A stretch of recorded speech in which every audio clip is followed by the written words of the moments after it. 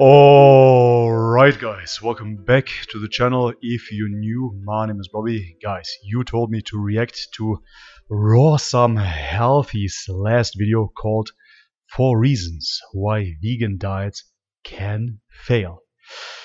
Let's do it!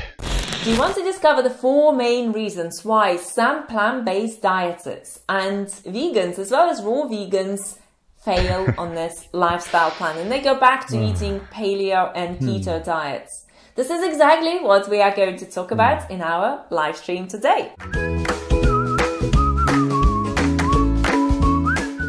Hi, Can't help it man, but this looks like an advertisement for Jehovah's Witness. hi everyone, it's Paul and Julia, certified holistic nutritionists and lifestyle coaches at Rawsome Healthy. Yes, and it's great to see you here. We're, you know, So great to see you. be good. Yeah, gotta be good. It's gotta be All right. good. So, guys, we've Ah, always this fake positivity, super positive. Guys, nobody is so positive in real life, not even the Dalai Lama. got a Ah. lot of uh, plant-based eaters following us. So we've been around for seven years. Yeah, you've been around for seven years, but there's not much left of you. If I look at the guy, I saw a video of those guys, I think four, five years back. The dude was substantially bigger, man. He lost all his gains. as plant-based coaches. So not plant-based, plant foods coaches and raw foods coaches. And we've worked with hundreds of people over the years. We've also witnessed some people not thrive on this lifestyle. Oh, really? And especially when they are big in terms of social media following and they announce that they're no longer following it, it might be, you know, planting doubts into your head and you might be starting to wonder and question things. So today we wanted to dive Mm-hmm. You start questioning the religion of veganism? What is wrong with you? they have failed on this lifestyle plan. So, the Uh-huh. first reason, and this is a huge reason, is that they used diet alone to treat their gut imbalances. So a lot of people come into this lifestyle, oh yeah, this is fantastic, and you know everyone goes out there, and all the social media promoters uh, have these big smiles on their faces. I guess like us as well. Yeah, yeah. Diet is Yeah, at least they we actually- realize we that. are very true to our path, and this is something that people appreciate who follow us. So, What does that mean? Uh, Behind the scenes, you they're very true. So much energy, and uh, you get excited, and they share just how much they've lost weight, and they feel amazing, and they look great, and you get excited. And what happens is that a lot of them, and a lot of people generally following this lifestyle plan, Why do they keep pointing to those man-made fruits? How is that a diet? And why is every vegan so obsessed with photographing themselves or filming themselves with fruit? It doesn't even matter if they're raw vegans or regular vegans. There's always a shot with a banana in your hand, an apple, a melon, and whatnot. What's the point? they fail to address their gut imbalances. So what happens? You They know, look so religious, imbalances man. Are not addressed. Well, when you have gut Ah. imbalances, there's all sorts of things can happen. You can have, you know, skin complaints start happening, you know, acne, and you can Fatigue, have uh, fatigue, uh, brain fog, bloating, lots of excess gas.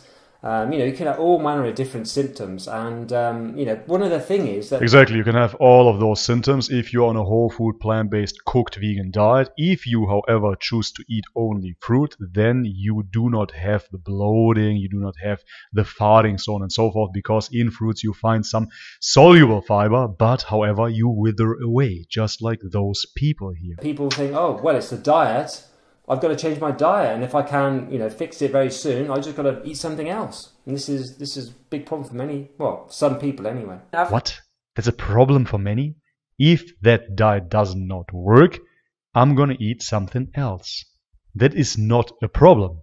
That is normal. that is logical, right? If that does not work, I eat that. But in your religion, in the church of veganism, we cannot do that. We're gonna worship our bananas and have diarrhea all day. Good. heard people say, well, all that fiber from food was making me feel bloated constantly. No, Mm-hmm. no, no. You need to deal with bacteria. You need fiber. Fiber is what your gut builds. no, no, no, no, no. It's not the fiber. You need to deal with the bacteria. No, you don't. You actually don't. You can eat a steak. No worries. Nobody needs excess amounts of fiber. Name the nutrient. Let's play the vegan game. Why do you need fiber? Is it an essential nutrient? Is it an essential micro or macronutrient? Why do you need fiber? Is it because fiber converts to butyrate? Is it because of that? If you think the health benefit is due to butyrate, then you could eat butter. What's the point? health on and you just cannot build you cannot have a healthy thriving gut without a diet that is high in fiber right so Exactly. Your friendly bacteria need lots of Fiber. Exactly, yeah, that's it. Case closed. The vegan police. Why can't you have a healthy gut without fiber? Where is the argumentation? Why do you need fiber? You're not saying anything. You're just repeating yourself. But you need fiber for healthy. g-" Why? Why do you need that? Essential amino acids, essential fatty acids, essential minerals, nutrients. Yes, you do need. Right? Makes sense. Why do you need fiber? Only because you repeat it all the time doesn't make it true. your friendly bacteria need lots of fiber from healthy whole foods. You've got to have it. If you don't, you gotta have it. and then if you blame the diet then it's just it's not a wise thing to do because diet is not gonna help you kill bacteria bacterial overgrowth in the body whether it's uh, candida Uh, yeah, sure, yeah. Diet doesn't help. Diet doesn't help. Don't try another diet. It's not gonna help. Don't blame veganism, though. How does that make sense? Of course, Candida feeds on sugar. If you eliminate sugar for a couple of weeks, you probably get rid of Candida, right? In many, many cases. Why doesn't diet help with your Candida overgrowth? Yeah, only in the Church of Veganism. H. pylori whatever other bad you've got bacteria parasites as well. It's not going to get rid of those parasites. You've got to deal with you those You have separately. to deal with Yeah. those things You have to deal. Yeah, of course, you have to deal with parasites. Jesus Christ, guys, I'm not a all nature proponent here. Of course, if you have parasites, worms, whatever, go to the doctor, get medicine. Everybody understands that. This is why I'm not solely for 100% organic meat. Sometimes animals battle with worm infections. Yes, even herbivorous animals. Give them medicine. No big deal. Do you really expect eating bananas and you're gonna heal the parasites? Ah, dogma. and that is going to be through supplementation and unfortunately for some people even antibiotics if if, uh, if supplements and antifungals are not doing it Yeah. so it is important to have a holistic and comprehensive approach to things Comprehensive approach? What does that even mean? You're just slurring words. A holistic and comprehensive approach. A comprehensive approach would mean something that we can actually comprehend. Nobody comprehends why we have to eat only fruits to be healthy. It doesn't make sense. And when we work with our clients, you know, people think that, yeah, well, it's just going to be another coach who will tell me to eat so many carbs and so much protein and so much fat, Uh-huh, okay. which is also very important. I'm not denying it at all. But gosh, we go deep with our clients. Gosh, yeah, I'm gonna sell you my coaching program now. So we get them to do tests. We look into things. We really go deep into if something is not Hmm. Deep. working, we change things and we swap things. But it is natural for people to be experiencing discomfort when It is natural. See how she touched the banana? That's so natural. No, it's not natural. Those bananas are man made. They're not their wild equivalent. It's not natural. they eat fiber and when they eat whole plant foods. If you have not addressed your gut imbalances, you've still got She just repeated fiber and cut herself off. Good. you have to pay attention to it before you move forward. Okay, so what's the hmm. next one? The next one is deficiencies. Hmm. And again, Right. oh, diet. Well, diet. This orange will give me B12. This orange will give me vitamin D. Right. the poor guy is so cucked, man. Oh, I feel sorry for you, bro. all these funny beliefs that people have that all of a sudden they will get absolutely everything. They don't need to worry about supplements because we live in this utopian world where our diet and produce is apparently like full of nutrients and that's just not the case. Ah, okay, so those two guys are next level vegans. We get it. So now they actually understand that the diet is deficient. So what do we do? We supplement. Yay! world where our diet and produce is apparently like full of nutrients and that's just not the case. Not for everyone. From our Not for everyone, she tries to correct herself because there are actually people that have produce that is filled with nutrients. DHA, EPA, B12, K2, D3, all in bananas. What are you talking about, woman? experience over the years, you know, unfortunately, you're not always going to get all the nutrients you need in whole foods. Um, Really? Sometimes you'll be deficient. Sometimes people get deficient for various different reasons. And if you do, For various different reasons. It's not that you're eating a vegan diet. It's for various different reasons on a whole food diet. Jesus Christ, man, those guys are so brainwashed. And again, I'm not even at five minutes, and I'm getting sad. I can't watch this. It's ah, it's so sad, man. Then you've got to do something about that deficiency. And if you just keep eating the diet and it doesn't work, and you think, okay, well, I've still got problems, do I just ditch the diet and do something Uh-huh. else, get another diet? No, you need to look at other aspects of your health. It's really important. yeah, exactly. Because it is the diet that made me deficient, but now I'm not gonna look at the diet. And uh uh what am I doing? How does that make sense, man? You say it yourself, you're eating a deficient diet. Now you need to think about dietary choices. What else is there? No, not in the religion of veganism. Now the only thing that we can do within the plant-based realm is of course to supplement. Ah, man. Yes, exactly, and address those deficiencies and Address those deficiencies, exactly, with some supplements.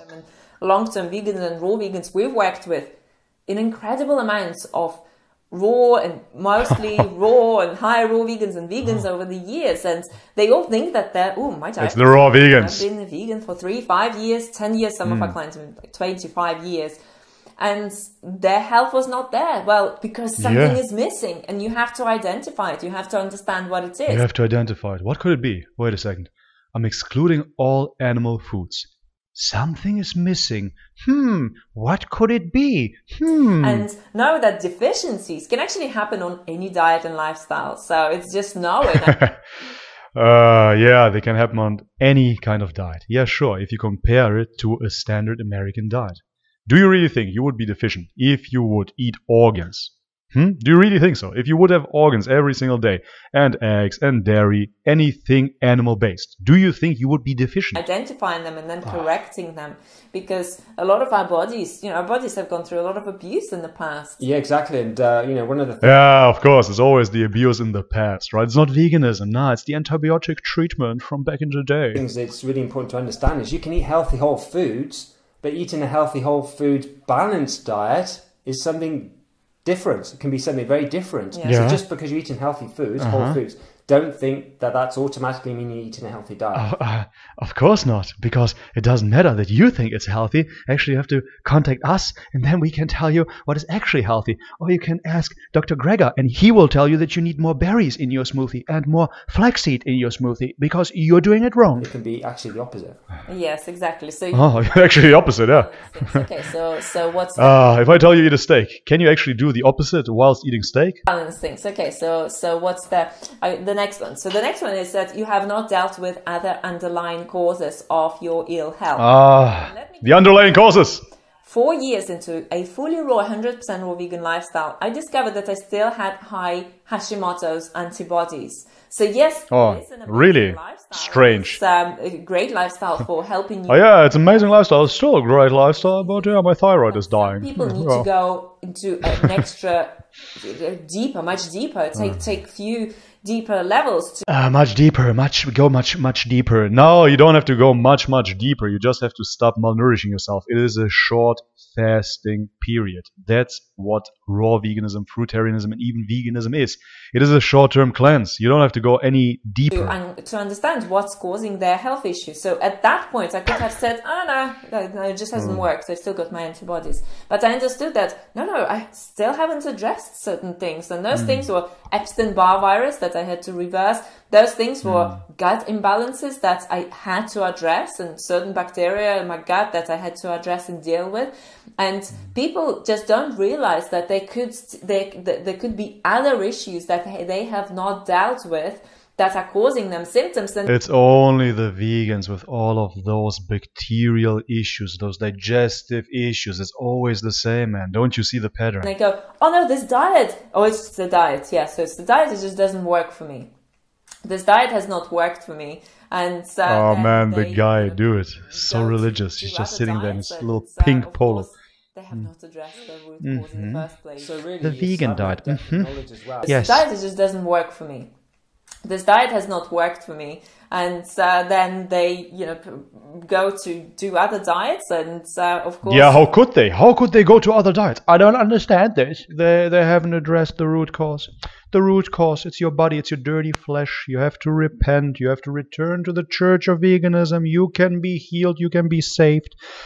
Guys, there is no underlying issue. It's just that you're eating too much fiber, too many anti-nutrients. What is not to understand about this? Bah. root cause in the first place So really, it's having that depth of knowledge as well, and not You need a depth of knowledge. You need a depth of knowledge. You need to read the holy book of veganism in order to understand, to understand the complexity of this dietary regimen.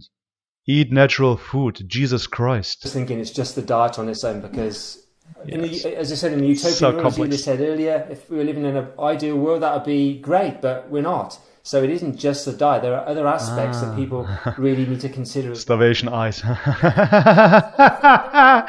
what is an ideal world? What is an ideal diet? You are talking about a utopia, about some sort of Garden Eden, where we're eating fruits and everything is ideal. This is the realm of earth, the realm of flesh. This is not a vegan paradise. aspects Jesus that people Christ. really need to consider as well for their health. Yes, and Yes. also there are a lot of things that you need to look into. You know, you need to look into your relationships. Uh-huh. relationships. you need to look into your uh, so many things and traumas, past, Past traumas. that traumas. It's all part of your Part of healing your and healing. restoration. Yes, diet is the base. It's that platform. But if you have not addressed other issues, then you will continue struggling, and then you will need to How are those points, those reasons, independent from each other? It's always the same shit, man. You're talking about not leaving veganism. You're talking about their underlying gut issues. You're talking about that it's everything but your diet. pay attention to those things.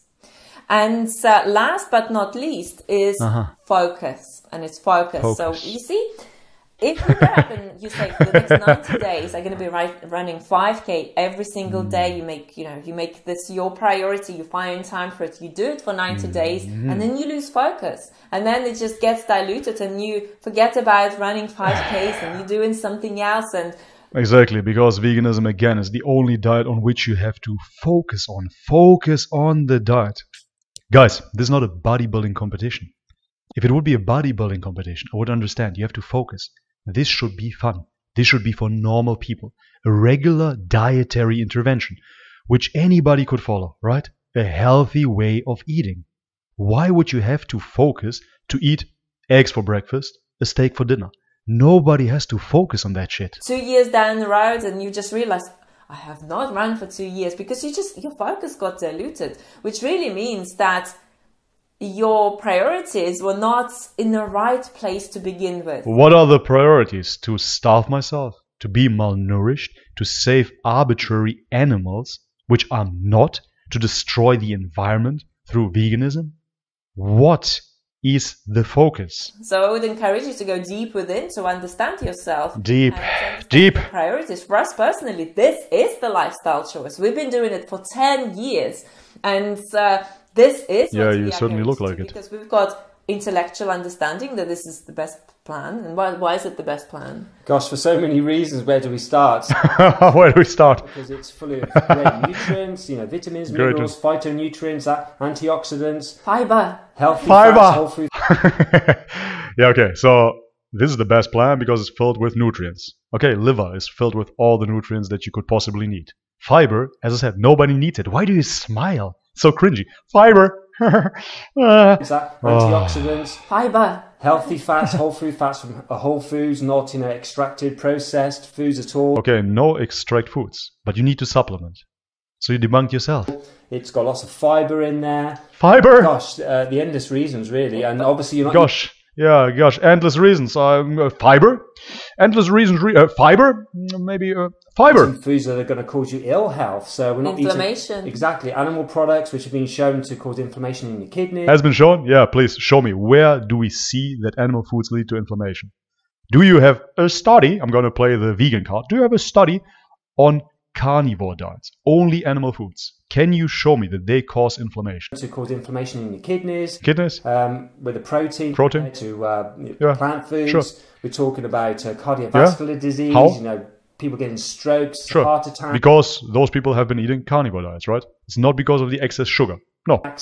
So many different reasons, um, valid reasons, scientific Valid. reasons as well. There's a lot Valid reasons, scientific reasons. If you don't believe me, I'm just going to say scientific reasons. science out there showing us that you know, this really is the best way to go. Eating this sort of healthy diet. The chick is going to get a cramp, man. And you- well. Uh, TMAO, TMA, TMAO. That's Yeah. something you can look up, and that's another subject area on its own. exactly. Uh, because Yeah, when you eat a whole plant foods diet, vegan, the bacteria that creates this uh, Vegan. this compound in your body, which is then produced as a toxin by your liver, doesn't get produced if you eat it, you know, consistently. But if you eat an omnivore diet, then this uh, compound does start getting produced, and it's Sorry, man, you lost me. What? not good for your Hormones? heart, Hormones? heart, you know, cardiovascular disease in your heart. Heart. Yeah, it's just not good at all. So Blood sugar These are just some of the reasons. Sugar. So Blood sugar levels. Yeah, sure. As a fruitarian, you're going to tell me something about blood sugar levels. are so many course. reasons.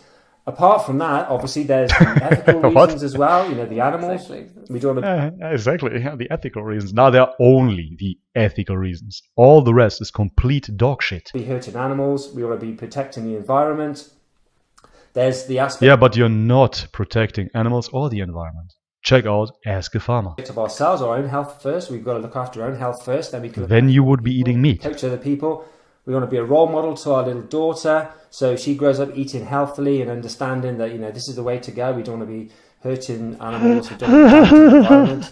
We don't have a little impact on the environment as it is anyway, as much as we possibly can. So there are many different reasons, and for us, these are hugely important. Hugely important. So they're like a foundation stone, aren't they, for us when it Ever heard of sustainable agriculture? comes to priorities in our life.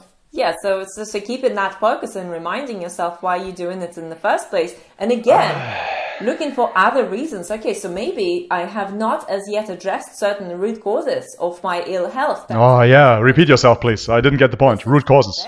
Underlying issues. of your health. And you know, if, uh, if you've been following us for a while, you know that I make a lot of videos about gut health, about overcoming candida and SIBO and gut imbalances and fixing your gut health and Of course, you make videos about this because you're vegan. Otherwise, you wouldn't have to. Overcoming leaky gut and autoimmune diseases because I've been through my own ups and downs. And even on this lifestyle with Hashimoto's, and Even on this lifestyle? No way. Epstein-Barr virus and parasite infection and gut issues, and it's something. Yeah, of course you have a lot of experience in it. experience You're vegan. and I've actually coached, you know, countless clients on getting healthy after Ah. years of struggling, even on this line. Even on this. So things can change, Hmm. and things can change when you have the right plan to follow. It's it's the, don't just blame this diet and think, okay, well, it's if you want. Whatever, I'm just gonna put in some words for you to not understand issues, problems, underlying. things that you can do in order to move forward. So this is what we wanted to share Give me the with you today, and I would Give love to hear from you. Post Yes. your comments in the Please comment do. section. What are your thoughts on this? So everything Love that we've talked you. about, do you think that some of the long-term vegans, raw vegans, uh, uh, plant-based eaters who fail on this lifestyle actually fail to address certain causes of, or, or many causes of their ill health. So Or, let, they, or they're not aware of these other aspects of their health. Yes. This is why they, you know, fall off and Yeah, it's not that they do it on purpose, obviously, No. but they just they have not got that awareness which Yes. needs to develop. So yes, let us know in the Okay, stop. So they need to develop that awareness, or because they can't, because they just simply cannot do it, they need to contact us. Contact us, and we gonna help you out. We shining examples of health. We gonna help you out. Oh, guys, that was hard to watch, man. It's always the same, isn't it? It's always the vegans just absolutely suffering and trying to fix others. Fix yourself first. Have a steak, man. Have some scrambled eggs. Eat something. Start with fish, some sashimi if you have to. Look at those fake smiles. Are those people, man? You look like Jehovah's Witnesses. Uh, anyways, guys, video is long enough. As always, let me know in the comment section which vegan video I should react to next. If you like this one, leave it a thumbs up. And as always, guys, much love and peace.